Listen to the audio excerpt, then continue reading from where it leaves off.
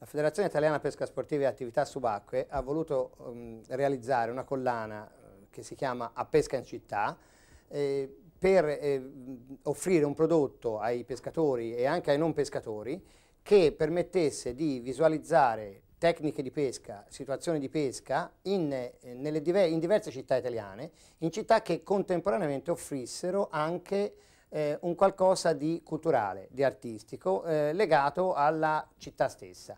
Quindi eh, i servizi sono stati fatti in pieno centro metropolitano, delle città di Torino, di Firenze, di Roma, di, di Verona, di Catania, abbinando spesso e volentieri dove era possibile, dove, eh, c'era il mare, situazioni di mare con situazioni d'acqua interne e realizzando un prodotto che, come dicevo, con la collaborazione delle amministrazioni locali, consentisse di eh, far vedere, eh, e con gli occhi di un pescatore, quindi dalla, dal fiume, dall'acqua, dove veniva esercitata l'azione di pesca, le bellezze della città che eh, gli stavano d'intorno e quindi, insisto, musei, situazioni, statue.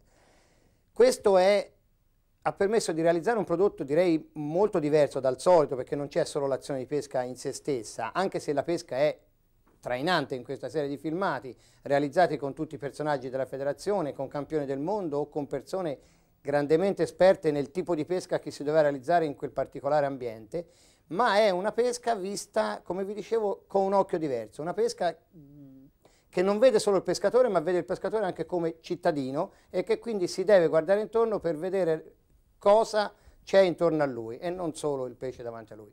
Credo che il prodotto eh, sarà di vostro gradimento, penso che sia stato realizzato veramente un ottimo prodotto, vi auguro una buona visione.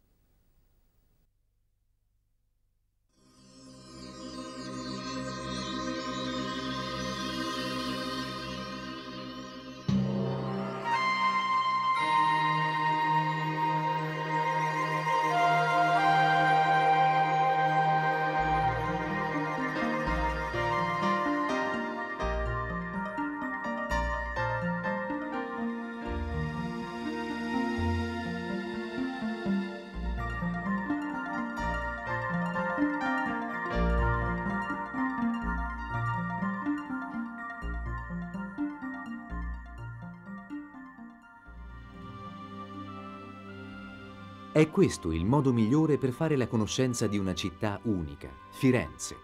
Bisogna salire in alto sul viale dei colli che circondano morbidi la città come una preziosa corona, tempestata di palazzi patrizi e torri rinascimentali, in gara tra loro per conquistarsi la vista migliore su questa perla di storia, arte e bellezza immutate nel tempo. Anatole France nel 1894 parlava dell'origine divina delle colline di Firenze.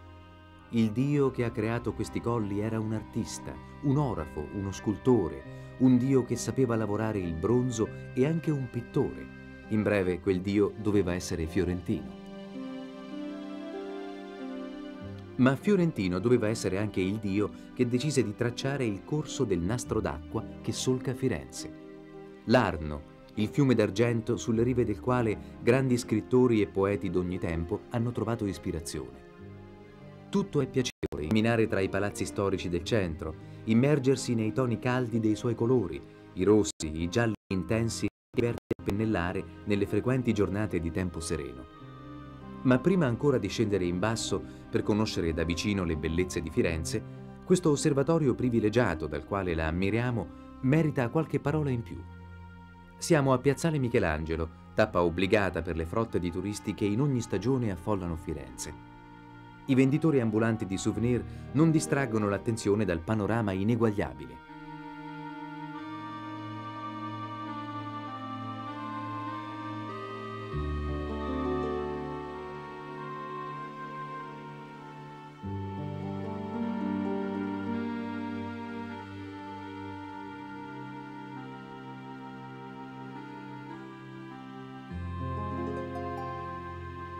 Poco più in là al riparo dal traffico dei pullman turistici, la chiesa di San Miniato al Monte, con i suoi baluardi difensivi progettati da Michelangelo e i suoi marmi preziosi, ci regala il primo assaggio della migliore architettura romanica fiorentina.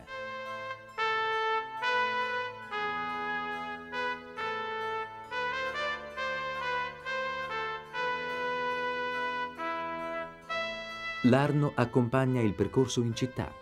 Per chi non desideri perdersi tra i quartieri antichi di Firenze, il fiume resta un prezioso punto di riferimento e i maestosi lungarni, in fondo ai viali del centro, sono il modo più piacevole per godersi il sole in ogni stagione.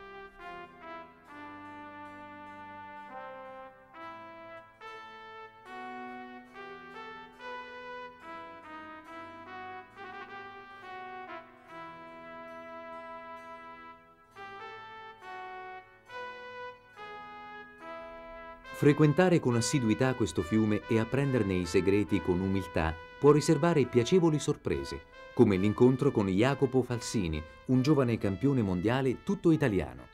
Lo incontriamo al Cigno, uno dei tratti di fiume cittadino più pescosi. Qua siamo a pescare al Cigno, è molto conosciuto per, tra, tra, gli agonisti che è un posto che dà veramente tanto tanto pesce, infatti quando vengono fatte delle competizioni generalmente e i pesi più grossi vengono effettuati in questo tratto qua.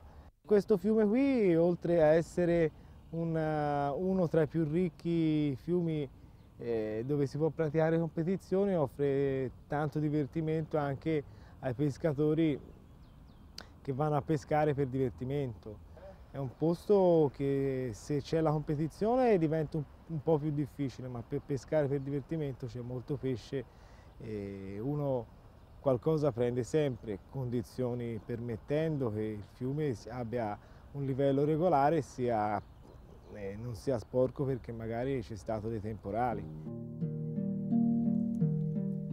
Occorre tornare indietro nel tempo per capire le emozioni che un fiume può far vivere a un campione come Jacopo. Le immagini sono quelle della prova finale di pesca al colpo durante i giochi mondiali di pesca sportiva svoltisi in Toscana nel settembre del 2000 la pesca al colpo, la più classica delle specialità, un po' come i 100 metri per le Olimpiadi. L'anno del Giubileo è stato un anno glorioso per l'Arno dei cinque cerchi olimpici e per la squadra italiana. La semplicità di questo giovane campione, il più giovane degli azzurri, e il suo controllo hanno decretato il grande successo per la nazionale italiana, sia nella prova a squadre che in quella individuale primo in entrambe le prove, insieme al compagno Francesco Casini, di fronte alle più forti squadre del mondo. Agli occhi del profano, lo spiegamento di forze sulle rive del fiume era già di per sé uno spettacolo. Più che un mondiale, sembrava una fiera gioiosa.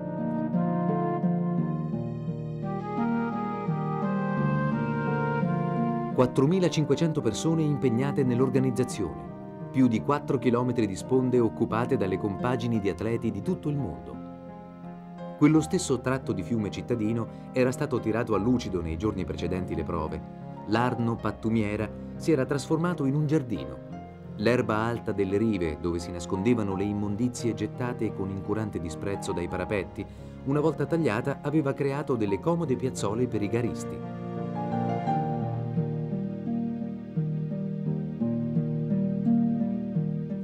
Le alghe che infestavano le sponde delle vere e proprie trappole per gli ami dei concorrenti, erano state eliminate con cura e l'acqua era tornata ad essere quella di uno dei fiumi più belli e sicuramente più pescosi d'Italia. Il lavoro instancabile dell'organizzazione aveva ridato dignità e vitalità al fiume e ancora una volta la pesca aveva ricordato ai più distratti il giusto rapporto con la natura. Più di 7.000 spettatori hanno assistito curiosi a questo variopinto spettacolo. Atleti inglesi, francesi, tedeschi, ma anche sudafricani, venuti da una terra lontana non solo geograficamente. È un bel fiume, pieno di pesce. In alcuni punti è un po' sporco. Ci sono zone con poco fondo e subito accanto buche molto profonde. Ieri è andata male e oggi è anche peggio. 24 pesci, ma piccoli così. Qui a Firenze è bello per un mondiale. Ci sono belle carpe, pesci d'Italia, a differenza di molte altre parti in Italia dove si prendono solo pesci piccoli.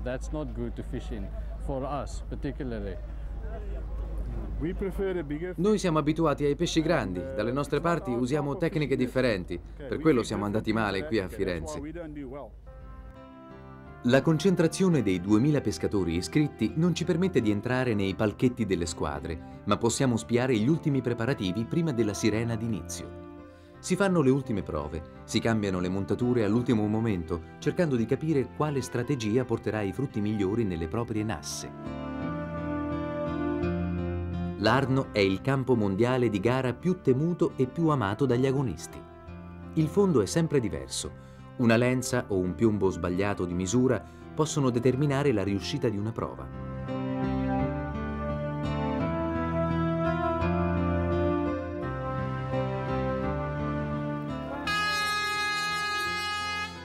La prova ha inizio e i gruppi di amatori che affollano il limitare dei recinti di gara parlano sottovoce tra loro, commentando le scelte dei campioni e cercando di carpire qualche piccolo segreto. Jacopo è concentrato, non si volta neanche a guardare chi è dietro di lui. Scruta la corrente e le bolle al centro del letto del fiume, pronto a rimettere in discussione le sue scelte per assecondare le condizioni migliori di pesca.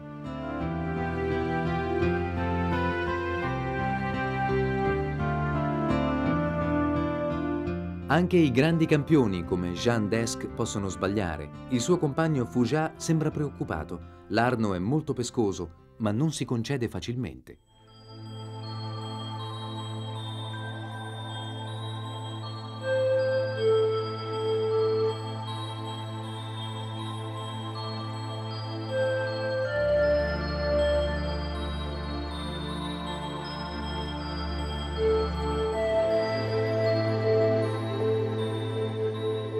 Passerà del tempo prima che venga reso noto l'esito di questa importante finale e molti spettatori fanno come noi, ne approfittano per conoscere meglio la città.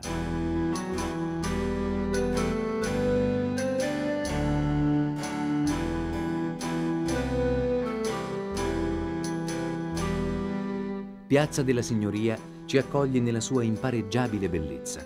È lì, ferma nel suo tempo, in posa per gli scatti e per l'ammirazione dei turisti che ruotano su se stessi a testa in su per meglio scorgere le facciate dei palazzi che la circondano.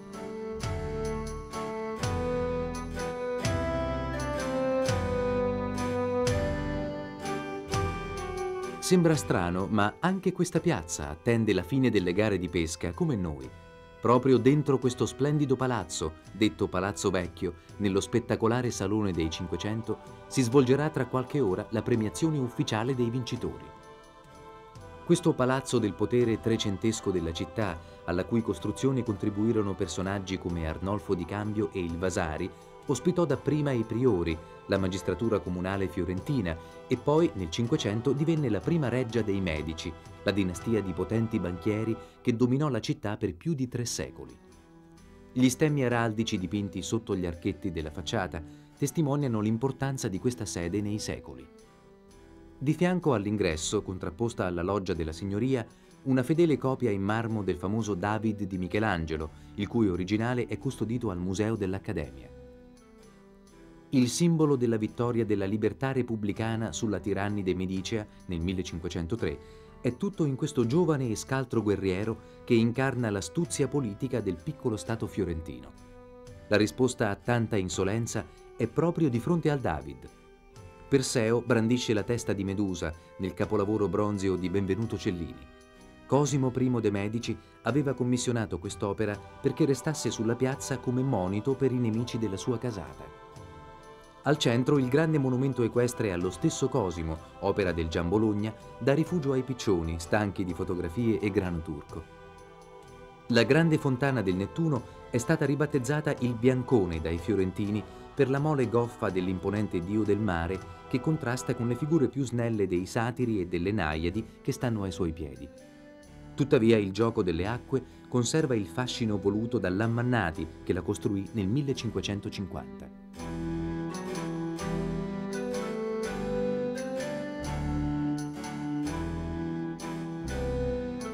Nel frattempo la prova si è conclusa, gli atleti smontano le attrezzature e i giudici di gara si apprestano alla pesatura. Adesso Jacopo può finalmente raccontarci com'è andata. È finita la gara, sarà una mezz'oretta qui a Firenze, a casa mia, e abbiamo vinto il mondiale per nazioni e io ho vinto l'individuale. una cosa da non crederci perché, perché vincere un mondiale come pescatore più giovane della nazionale, poi vincerla a casa mia è, è un'esperienza che penso che la soddisfazione inizierò a avere veramente stasera o domani perché sono tutto ancora frastornato. Oggi per fortuna sono capitato nel settore centrale, l'unico senza né testa né coda, si usa dire così. Peso sì, de, della competizione ho fatto 13.880 punti e sono partito a pescare fuori con la canna all'inglese, cioè circa 6 metri e mezzo da, di, di fondo, pescavo scorrevole e ho subito iniziato a prendere, il primo lancio avevo già preso un pesce e sono andato avanti così per una quarantina di minuti, avevo 7-8 pesci, di, tra cui una carpa su un chilo e mezzo, intorno a un chilo e mezzo. Poi il capitano mi ha detto, Fumagalli mi ha detto che la pesca, eh, sta, il pesce stava entrando sotto, sotto, la sponda, da pescarlo con la rubasena sui 14 metri e mezzo. Come, ho, come sono venuto, ho smesso di pescare l'inglese che e non ho recuperato a vuoto, ho recuperato con un pesce, ho calato con la rubasien, avevo tenuto alimentato, c'erano subito anche lì e pescando più vicino, essendo più precisi, si, abbiamo molte meno difficoltà, è più facile la pesca e sono andato, sono andato bene. Una vittoria così non si dimentica facilmente, anche a distanza di tempo, e un salone come quello dei 500, un'area di 53 metri per 22 colma di genio artistico, non fa che suggellarne l'importanza. Gli affreschi del Vasari descrivono i trionfi fiorentini su Pisa e Siena. I gruppi marmorei segnano il perimetro della sala, ma uno tra tutti è degno di uno sguardo più attento. Si tratta del Genio della Vittoria, un'opera di Michelangelo datata 1525.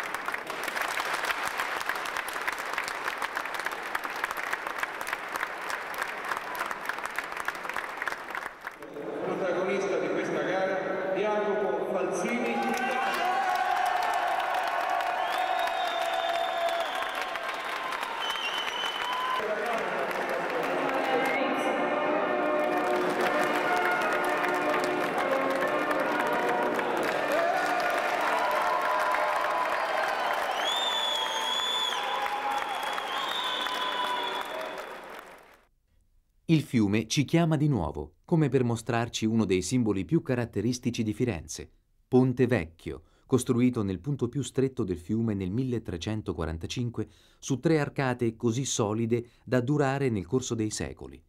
Anche la fortuna lo aiutò a giungere fino ai nostri tempi. Ponte Vecchio fu l'unico ponte di Firenze ad essere risparmiato dai bombardamenti tedeschi.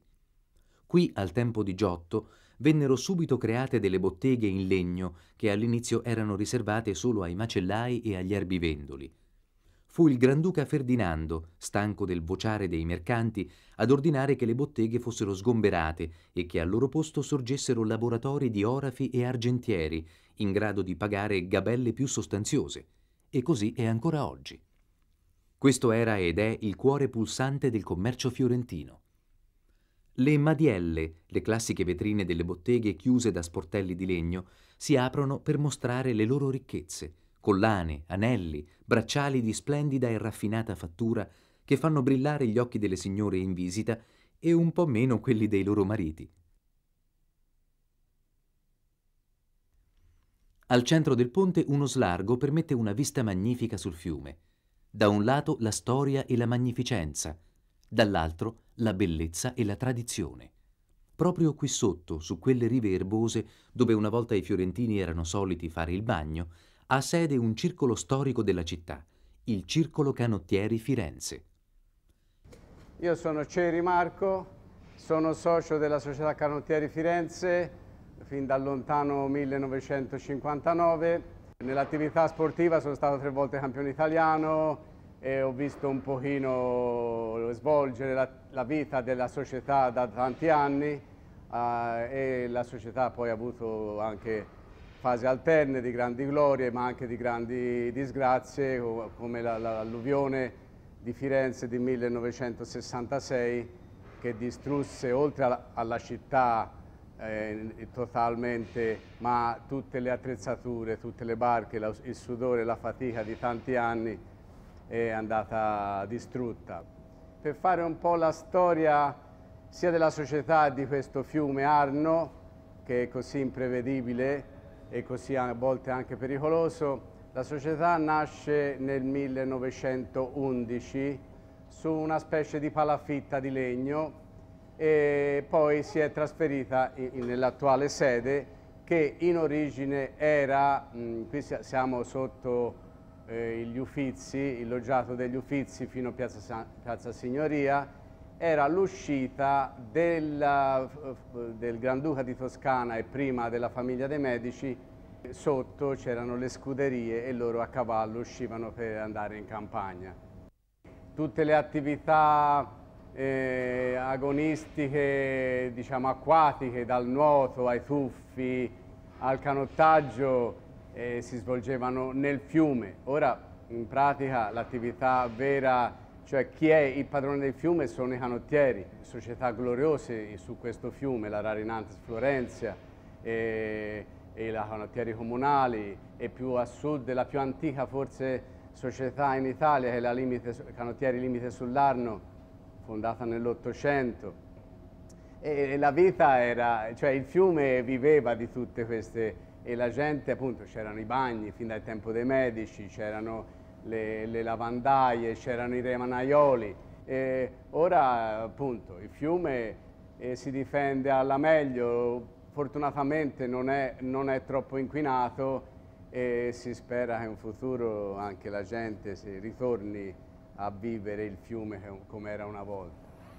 Gara combattuta, frente a destra, numero 3. Il circolo oggi ha organizzato una gara per i giovani che vogliono avvicinarsi al fiume e alla canoa. Per il momento i partecipanti si fronteggiano in una simulazione a terra, una gara di voga sotto la galleria degli Uffizi. 1 e 3, quel pochissimo vince il numero 3, il numero 1 scusa. Questa è stata un'iniziativa eccezionale perché eh, fino a poco tempo fa per avvicinare i giovani eh, era anche più faticoso, uno doveva eh, avvicinare le scuole, gli insegnanti, indire una leva remiera.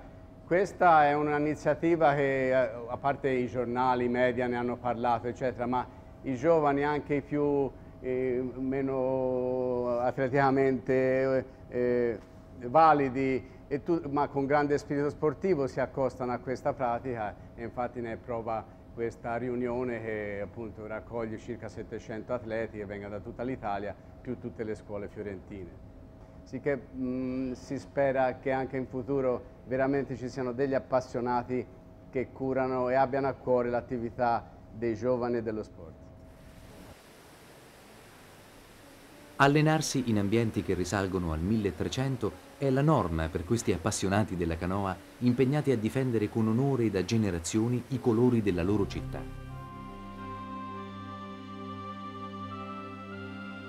In realtà tutto a Firenze parla di storia. Queste acque fecero grande la fortuna della città, nata come colonia romana nel 59 a.C. Il nome della città deriva forse dai Ludi Florales, le celebrazioni in onore della primavera che le conferirono il suo primo nome Florenzia. Il fiume era perfettamente navigabile. In città esisteva un porto che smistava le merci provenienti dal mare e via terra dalla vicina via Cassia. Durante i secoli la maestria e l'inventiva dei fiorentini fecero il resto.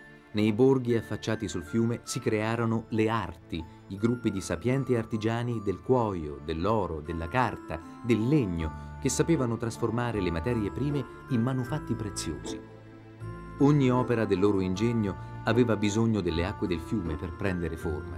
Per questo ancora oggi le botteghe rimaste e le strade che ricordano il fiorire di questi commerci che resero grande Firenze si trovano tutte nella zona che va sotto il nome di Oltrarno. Per i turisti che vogliano conquistarsi un piccolo ricordo di questa maestria artigiana tutta fiorentina, il mercato nuovo, sulla piazza dove un tempo venivano messi alla gogna e alla berlina i malfattori, ci mostra una girandola multicolore di oggetti in paglia, marocchinerie e carta di Firenze.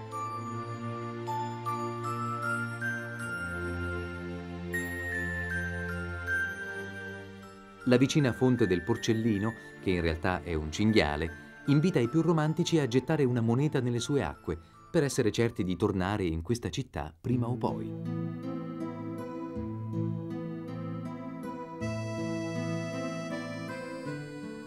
La sera non riesce a togliere nulla alla bellezza di questa città.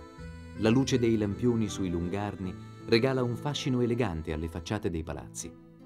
Proprio ai piedi di tanta bellezza, sfruttando la posizione di una banchina al centro del letto del fiume, proviamo ad insidiare qualche preda in compagnia dei nostri amici fiorentini. Questo posto tra il Ponte delle Grazie e Ponte Vecchio si chiama la Pescaia delle Rose ed è un luogo ideale e tranquillo per gli amanti della pesca. Difficile immaginare un luogo più bello di questo per pescare. Alle nostre spalle la chiesa di Santo Spirito, disegnata da Brunelleschi. Davanti a noi una lontra che si sposta, nuotando silenziosa da una riva all'altra. I passanti non riescono a scorgerci, protetti come siamo dal buio del letto del fiume. Sull'acqua solo i bagliori verdi delle nostre starlight.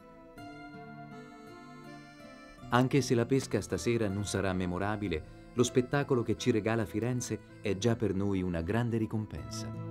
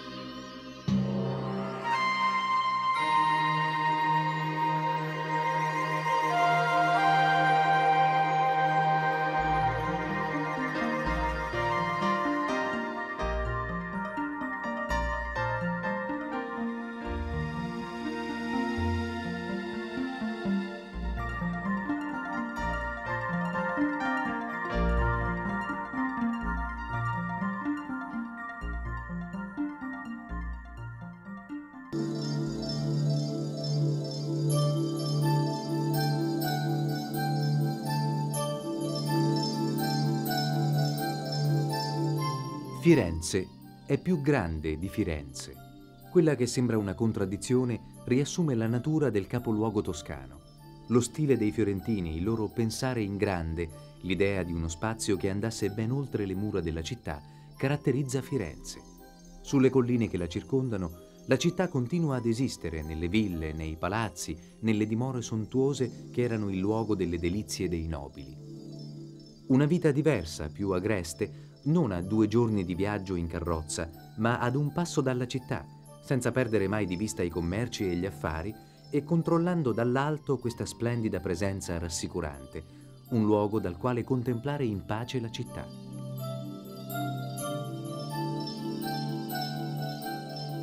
Questo ambiente naturale, dove i tipici cipressi si alternano alle distese dorate di olivi e agli ordinati filari delle vigne, è subito a nord di Firenze, alle porte di una frazione di grande bellezza, Fiesole. Era lei la città forte una volta.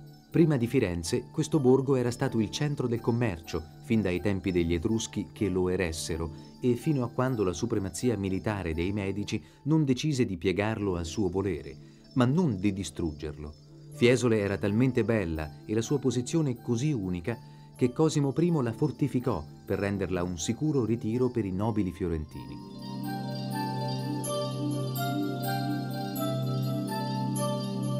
Il Palazzo Pretorio, che oggi è sede del comune, reca ancora gli stemmi dei molti podestà che ricevettero l'ambito incarico di governare questa splendida cittadina. Da qui in alto l'Arno sembra distante e la città immobile come una cartolina.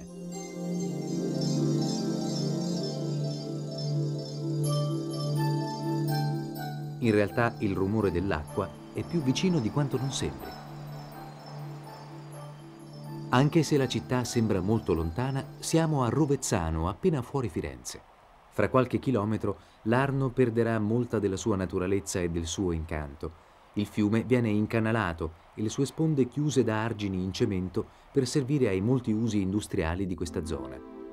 Questo tratto però è ancora integro e pescosissimo, merito forse degli antichi mulini del Trecento che oggi sono tutelati dalla soprintendenza ai beni architettonici e spesso sono abitati da fortunati e rispettosi inquilini. I salti che l'acqua compie in queste rapide alimentavano la spinta delle grandi pale di legno che macinavano il grano prodotto a Figline Valdarno. Oggi Figline è un importante centro industriale, ma nel Trecento era detta il granaio di Firenze, perché era lì dove l'Arno concedeva la sua acqua alla pianura, che la terra dava il pane alla città.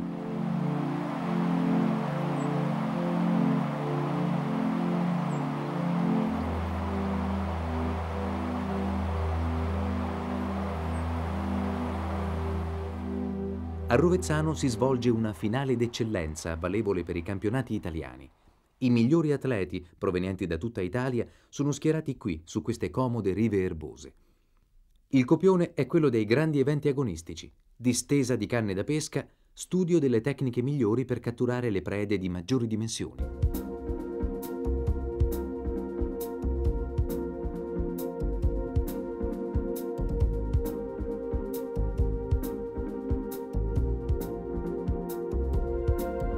La posizione di pesca è ancora una volta determinante. L'alternarsi di fondali bassi e di buche profonde mette in difficoltà i garisti. Questa sembra essere una costante per chi gareggia in Arno.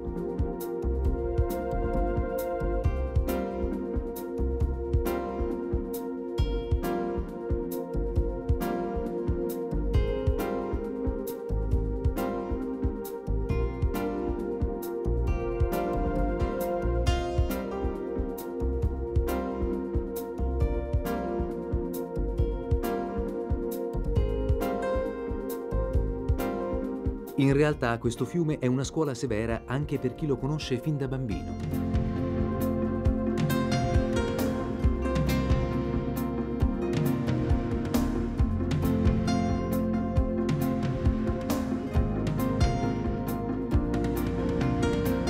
Lasciamo che i giudici compiano le ultime operazioni di pesatura delle nasse e raggiungiamo il Cigno, un luogo che i pescatori fiorentini e non conoscono molto bene.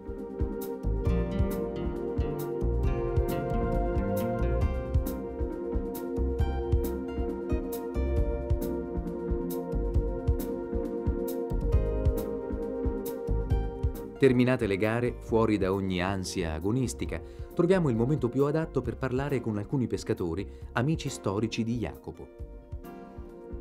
Simone Fabi è, è un mio grandissimo amico, l'ho conosciuto che avevo 12-13 anni Eh, grande amante anche lui della pesca e delle competizioni, abbiamo fatto per 5-6 eh, anni le gare nella solita società, poi ho cambiato, lui è ancora lì.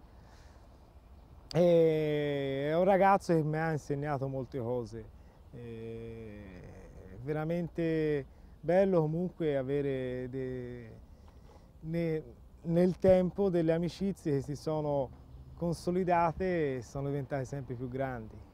Ho pescato all'inglese, eh, scorrevole, eh, con galleggiante da 10 grammi, innescando vermi e mais e tirando pastura. Ho preso diversi carassi e poi qualche carpa perché l'Arno ti dà la possibilità di pescare anche in questa maniera, cioè perché l'Arno credo sia uno degli unici fiumi dove si può pescare con qualsiasi attrezzo, diciamo da rubasien, da canna all'inglese, da bolognese, da canna fissa, in tutte le maniere. Perché a me andare a pescare per me è una cosa importante nella vita, cioè io non riesco a... cioè io se vuoi pescare un pazzo, cioè sì che il problema è questo, a me mi piace andare, o che vinca o che perda, cioè mi piace, mi piace pescare in tutte le maniere a me mi ha dato molto nella mia vita, cioè, ho avuto delle soddisfazioni, sono stato in nazionale, ho vinto un campionato del mondo nel 93, pure facendo la riserva, però insomma mi sono levato le belle soddisfazioni. Poi per tenere il passo e rimanere dopo bisogna avere anche altre, altre circostanze di lavoro, di, di tante cose. Una carpa di buone dimensioni impegna Simone in un ingaggio estenuante la tecnica che Simone stava usando non è la più indicata per trarre a riva questa grande preda e il rischio di rompere rende questo momento più esaltante. Questa carpa mi ha fatto fare una lotta di 40 minuti per riuscire a tirarla fuori perché avevo il terminale molto sottile, quindi insomma, comunque alla fine questa grande lotta ci si è fatta a metterla nel guadino. Un bel pesce, lo giudico sui 7 kg però giudicheranno quando verrà a vista. L'esperienza di un pescatore si misura in queste circostanze. Senza fretta, lasciando che la carpa esaurisca piano piano la sua volontà di resistere, Simone attende che arrivi il momento giusto per recuperare.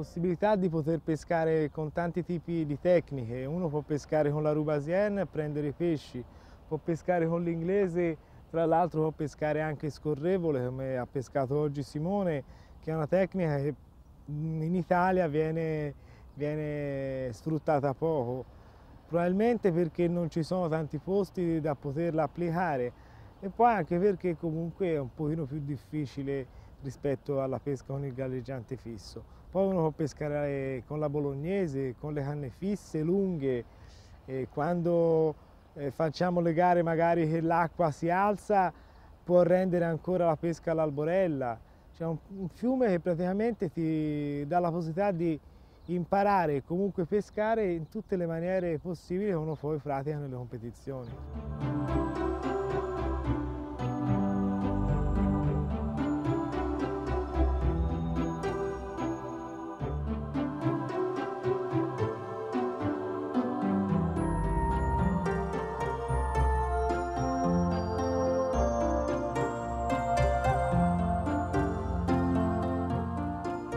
A pescare anche con eh, Somigli Giancarlo che tutti nell'ambiente della pesca a Firenze lo conoscono come Calimero. Oramai è un'istituzione, è, è, un garista che ancora che ha comunque vicino a 70 anni o giù di lì, ora non lo so di preciso, ha una grinta che sembra un, un ragazzino di, di, 15 anni. E lui è stato uno tra quelli che mi ha insegnato per primo, perché la mia prima società di pesca è stata eh, l'APD Londi di Firenze. E lui praticamente era in quella società lì. Per cui quando ho iniziato a pescare mi ha seguito, seguito, molto lui, anche Londi ma mi ha insegnato tante cose e mi ha aiutato molto a crescere, a imparare prima tante cose. Io sono nato sull'Arno praticamente, ho sempre pescato, 35 anni di gare, garista incallito, specializzato in pasterello, quella mi pesca, non hanno mangiato di molto. Eh, I galleggianti equivale ai galleggianti e pesca normali secondo l'acqua come va e come va. Ma di solito normalmente acqua insomma lenta oppure ferma, il piombo e il pasterello devono sarare il galleggiante, cioè deve rimanere solamente quella stina fuori e si vede e non si vede, perché va pescato proprio a, a pelare il fondo. Questo ti dà modo, se il pasterello o per il pesce o per altre cose si sfa, te praticamente il galleggiante ti si alza e, e lo vedi e vedi che non c'è più pasterello, primo. Secondariamente ti rende utile perché, perché poi anche pescare a galla o a mezz'acqua, perché il galleggiante non va a fondo. Eh. io stamani l'ultimo ora e mezzo ho pescato a galla, mi davano lo stesso, anzi mi davano di più. A volte eh, questo pasterello è troppo grosso per questo piombo, allora se ne leva un pochino, bisogna adattarsi, capito? Anzi, guardia, guardiamo se ci, sta, se ci sta a galla questo qui grosso. Perfetto. Sta calando, vedi sta calando. Ecco, ora, ora è in pesca perfetto. Con un pasterello così ho un grammo e mi sta perfetto. Abbiamo deciso di pescare in tre maniere diverse proprio per far vedere delle immagini diverse. Io ho pescato con la Rubasien eh, a 13 metri, eh, ho, praticamente la montatura ho fatto con un galleggiante da 2 grammi e mezzo, eh, con un, un blocco di pallini a una cinquantina di centimetri dall'asola, dove poi viene, ci ho messo il finale e tra, sull'asola ho messo due pallini del numero 7 perché c'è talmente tanto pesce che si vedevano anche delle abboccate in alzata. E ho usato un finale del diametro 0,12 e un amo del 12. Ho pescato sia con tre bigattini che con, con il mais. La pasturazione ho, ho tirato all'inizio un po' di pastura eh, e poi dopo ho alimentato con delle palline di bigattini incollati con della ghiaia dentro. Il pesce quando è caldo comunque, specialmente quando non siamo in gara, tende a sollevarsi, per cui all'inizio uno deve magari impostarla più sul fondo, poi se vede eh, che il galleggiante non si assesta mai può anche provare a togliere un pochino del fondo e magari sbaglia meno abboccate. I giovani si avvicinano alla pesca, però alla pesca diciamo da poeta. Poi quando, quando subentra, quando subentra eh, diciamo, l'agonismo, allora si va incontro a delle spese non, non irrilevanti e il giovane poi dopo questo si accosta sempre su, da 10 a, a 15 anni.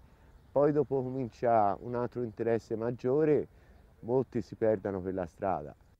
E oltretutto la federazione sta facendo anche delle scuole di pesca proprio nelle scuole, le scuole medie ora le sta facendo, per cercare di riavvicinare un attimino eh, i giovani all'Arno.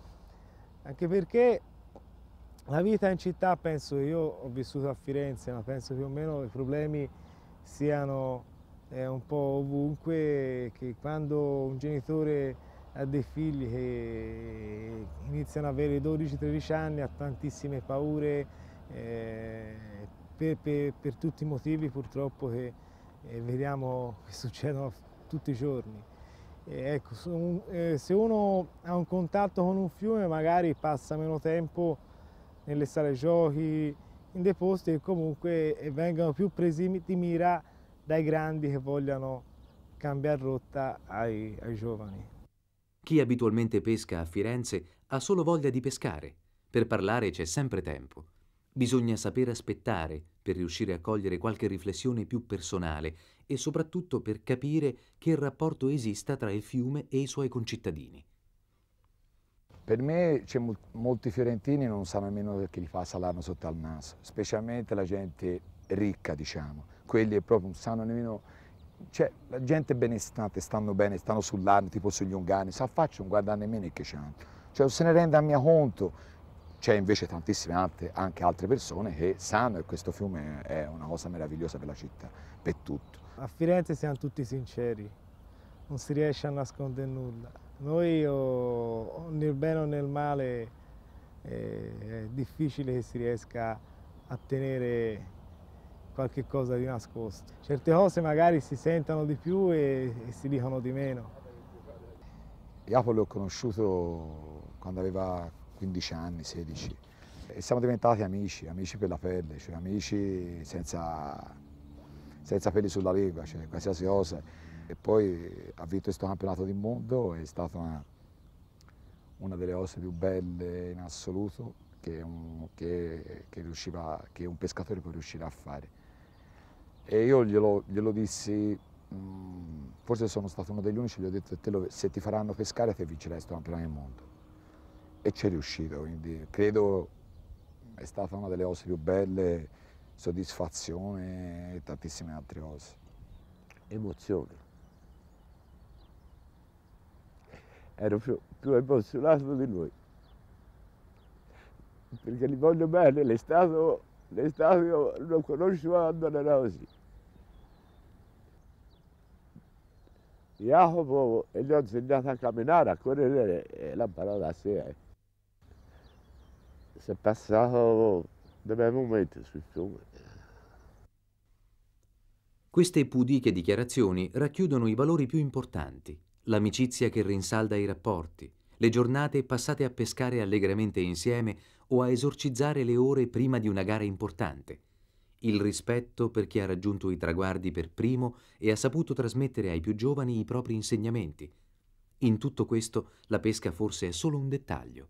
È bello anche, eh, facendo delle competizioni, inserirsi proprio in dei gruppi e, e praticamente viene proprio fuori una vita sociale, cioè nascano delle amicizie e dei bei rapporti e uno poi eh, fondamentalmente si vive anche per quelle cose lì. Lasciamo i nostri amici a divertirsi ancora un po' e torniamo ad immergerci nel carosello artistico del centro storico di Firenze, una città dove l'arte va presa a dosi moderate, altrimenti rischia di stordire. In realtà l'effetto che il Duomo provoca è molto vicino allo stordimento. La grande mole della chiesa di Santa Maria del Fiore sembra smisurata per la piazza che la ospita. Sulla facciata la ricchezza dei marmi di ogni sfumatura e foggia rende unica questa chiesa. Lo sguardo sale immancabilmente verso l'alto, dove la prospettiva sembra avere maggiori vie di fuga, la cupola del Brunelleschi, il simbolo più famoso di Firenze. Le mattonelle di cotto disposte a spina di pesce culminano nella lanterna che poggia su un anello a chiusura di questa struttura magistrale che ancora oggi è oggetto di studi architettonici per la sua statica straordinaria. La più grande cupola del suo tempo correva l'anno 1463, costruita senza armature di sostegno né carpenterie. La volta cresceva semplicemente poggiando su se stessa, sfruttando un equilibrio che ha qualcosa di divino. Il campanile di Giotto, che sovrasta i passanti con la sua verticalità, è più basso della cupola di 22 metri. Le formelle, opera di Andrea Pisano, ne decorano il basamento, raffigurando le molte attività dell'uomo. A Firenze non ci si dimentica mai dell'importanza delle arti e del commercio.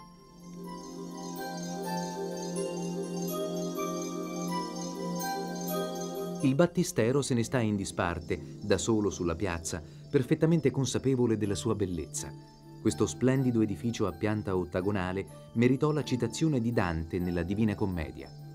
I grandi portali di bronzo sono opera di Andrea Pisano e di Lorenzo Ghiberti.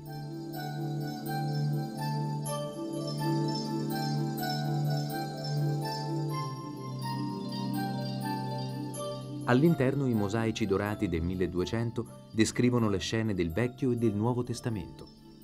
Grandi artisti e grandi scuole a Firenze si va per imparare. Ognuno qui trova i migliori maestri. Così era ai tempi delle botteghe rinascimentali. Se Michelangelo o Donatello sceglievano un giovane apprendista, era segno che per lui si sarebbero aperte le strade della fama e del successo. In tempi più recenti, anche le rampolle delle più grandi dinastie di nobili e regnanti andavano a Firenze per imparare. Non le arti, ma quel complesso insieme di regole e comportamenti per il loro ingresso nella società più importante. Imparare a fare le regine, se non di uno Stato, almeno del proprio sontuoso focolare. Questo palazzo in stile neoclassico è il famoso convitto femminile di Poggio Imperiale, il luogo dove l'elite dell'Ottocento e dei primi del Novecento si recava per acquisire un'istruzione degna del proprio rango. Molte principesse sono state chieste in sposa dai loro principi europei quando ancora indossavano la divisa di questo esclusivissimo collegio. Palazzo Pitti, con la sua facciata bugnata e imponente, è oggi una prestigiosa sede di mostre ed eventi importanti. Quando i medici giunsero all'apice del loro potere, il palazzo divenne la loro reggia. Adesso è la reggia della moda, il tempio dello stile e dell'Italian fashion, durante le sfilate che si tengono annualmente negli antichi saloni del palazzo.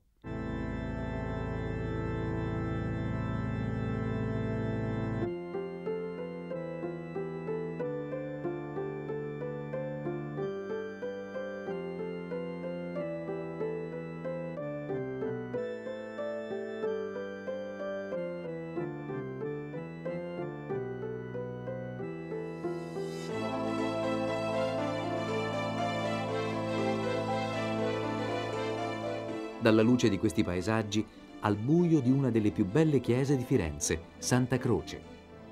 Questo è il luogo dove riposano i resti mortali di Michelangelo, di Galileo e di Machiavelli, ma non solo. Qui, nella cappella Bardi, a destra dell'altare maggiore, Giotto affrescò le mura con il pregevole ciclo dei santi. Ancora una volta al suo fianco c'era un allievo, depositario della sua maestria, Taddeo Gaddi, la vita e la morte di San Francesco, la sua umiltà e le sue opere sono raffigurate a un passo dallo sfolgorio dell'oro e dalla ricchezza degli arredi sacri, senza che si crei alcun contrasto. A ricordare a tutti che ciò che Dio ha creato può anche distruggere il crocifisso di Cimabue, una meraviglia lignea del 1200 irreparabilmente danneggiata dalla furiosa alluvione del 1966. Anche allora Firenze si dimostrò una scuola, una scuola di vita per i tanti studenti che accorsero da ogni parte del mondo per tentare di salvare un patrimonio che tutti consideravano proprio e universale allo stesso tempo. Il fango dell'Arno coprì le cose, le case, le persone. Allora la furia di questo splendido fiume tentò di distruggere la vita e la storia di questa città. Fu questa la più grande prova per Firenze che combatté con coraggio la sua battaglia per l'immortalità, sapendo bene di meritare la vittoria.